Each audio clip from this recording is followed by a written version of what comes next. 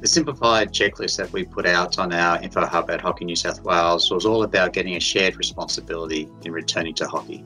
So we were adamant that we didn't want to give the responsibility to associations or clubs entirely.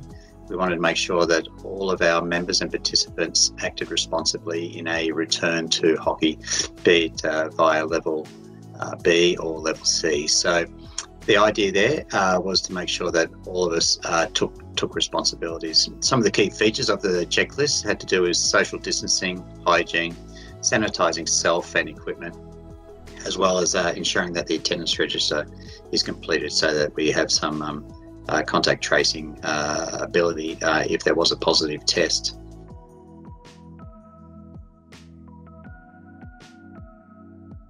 We end up with four checklists. So there were individual checklists, club checklist, association checklist, and coach checklist.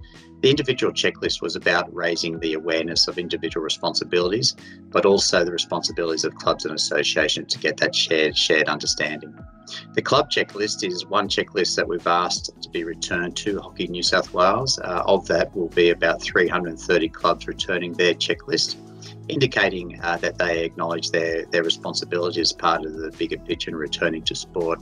But it also, we've asked in that checklist to identify a COVID uh, safety contact that person is purely a contact and we can speak to them or send them resources if we need to um, or updates to plans as required or changes to government um, uh, restrictions um, so that clubs um, are updated in relation to any of those uh, changes to restrictions. The association checklist went out to everyone as well, and we were trying to get across there that the executive within the association have some responsibilities around providing a plan for us to approve at Hockey New South Wales. But we wanted the whole community to know what the volunteers primarily were doing to get the sport up and running in their local environment. So we were supporting the associations by letting everyone know this is the role that their executive have to undertake.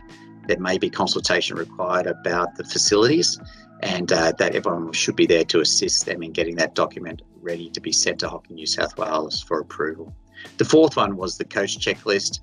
The coach is critical in this level B, particularly around the training phase to ensure that the plans are implemented from hour to hour, day to day. And we needed to get out to the coaches and sort of alleviate some of their concerns about what their responsibilities were. So we gave them some guidance in relation to what to do pre session, what to do during session, what to do post session, and the types of things they wanted to try to ensure uh, were maintained during a training session, i.e., social distancing, physical distancing, where we can, hygiene and sanitisation, plus the attendance register.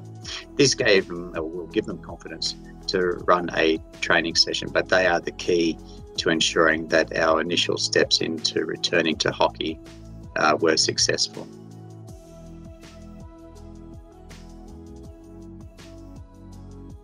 For us, each sport, association, club, and team must take a cautious approach. Hockey New South Wales has been unashamedly promoting the fact that we've taken a very cautious approach in relation to our return to hockey. The other key uh, tips is to keep promoting the physical distancing and, and good hygiene. Uh, and also, most critical is once the plans have come into Hockey New South Wales, for example, to be approved, the associations need to ensure that those plans are implemented and that they're monitored and changed as required. We've stressed with the associations that we're not going to be policing that um, because we've taken the approach that it's a shared responsibility. And even to a degree, the associations don't need to do that because they should be getting across to their members that we're all in this together and we all need to make sure that these control measures work. And you need to be are part of the solution to get us back to hockey. So, so the control measures must be implemented, but if there's any changes that are required from feedback from coaches or participants or community members about what they've seen out at the hockey field and on a particular day, um, some action or some changes need uh, need to be made there.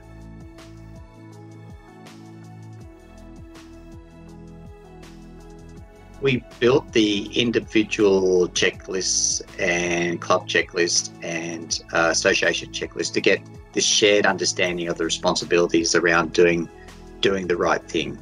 What we've also provided in uh, our info hub in relation to other resources is templates around how to run a training session, what drills need to be can be run that are uncontested, maintaining that physical distancing. Uh, the coach's role, as I specified earlier with the coach's checklist, but we provided ideas to coaches about how they can set up their drills and um, still maintain those key features around uh, preventing the transmission of the uh, of the virus.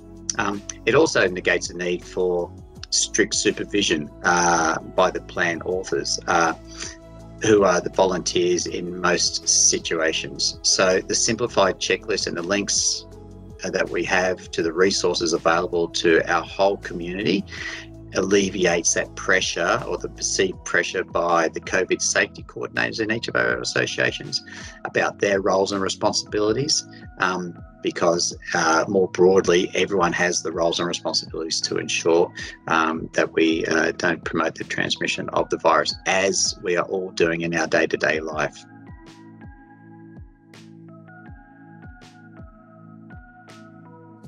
It goes without saying that it's obviously important that we do it in a safe way, and this is why New South Wales has taken a, a cautious approach to this.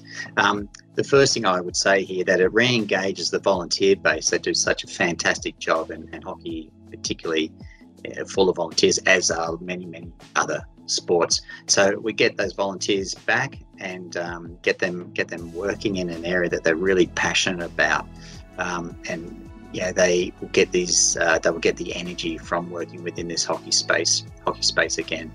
Uh, the return has to also be sustainable. Um, uh, as I mentioned earlier, you might have a plan, but you've got to make sure it's implemented. Got to make sure it's monitored. And a lot of what we're doing through level B of the AIS framework will move into level C and stay with us uh, forever and a day.